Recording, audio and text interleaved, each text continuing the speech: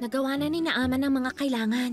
Tingnan nyo, nakapasok tayo sa lugar ng kalaban, nagbigay siya ng mga regalo sa hari, at ngayon inayos ang pagtatagpo nila.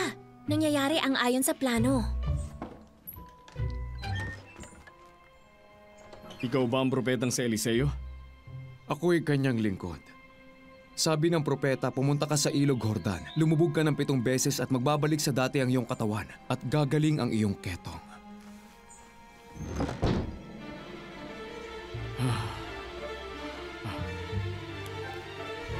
Ano?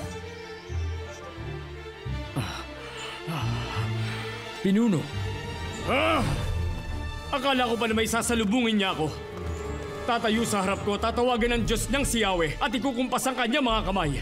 Sa tapat ng aking ketong at ako'y pagagalingin. At bakit hindi na lang sa ilog ng Abana? O ng ilog ng Farfar? Ang mga ilog sa Damascus ay di hamak na mas malinis kaysa alinmang ilog sa Israel. Hindi ba pwedeng doon na lang ako maligo para gumaling? Ha!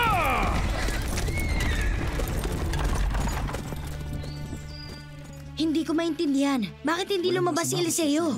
Bakit hindi niya subukan? Paano ko yun nga magpapagaling sa kanya? Di ba? Sige, sabihin natin sa Sabihin kanya. natin sa kanya.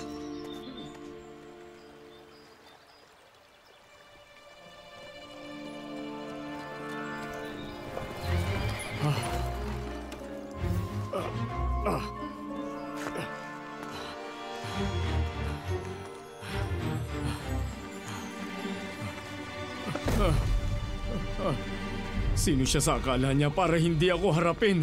Wala siyang karapatan gawin yun sa'yo. Ikaw ang pinuno ng hukbo ng Syria. Nilakbay ko ang ilang bundok, nagdala ng mga regalo sa hari, pero ni hindi man lang niya ako nagawang harapin at kausapin. Maligo sa ilog na ito.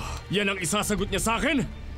Pinuno, kung mas mahirap pa riyan ang pinagagawa sa inyo ng propeta, di ba't gagawin niyo yon?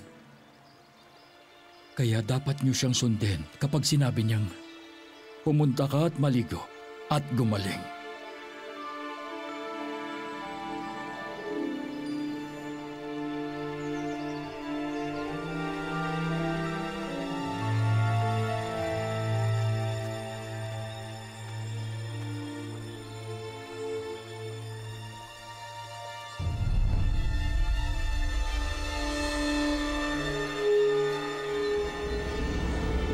Ang aking Diyos ay totoo.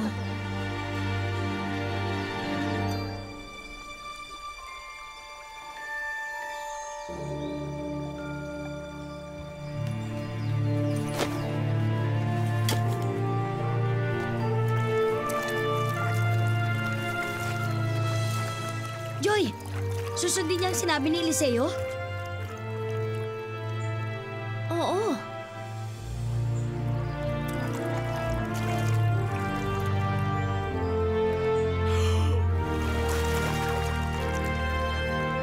Isa?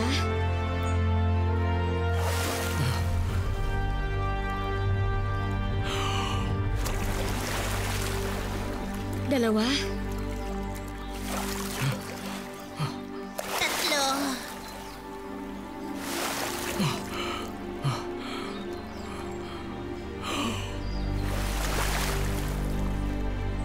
Apat. Lima. Anim?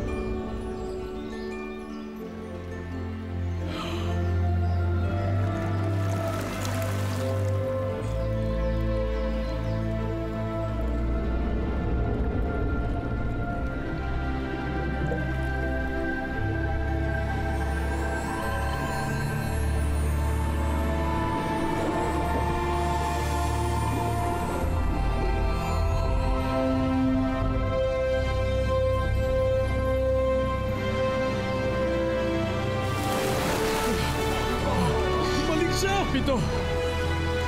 Maraming salamat! Totoo nga sinabi ng propeta! Ayun!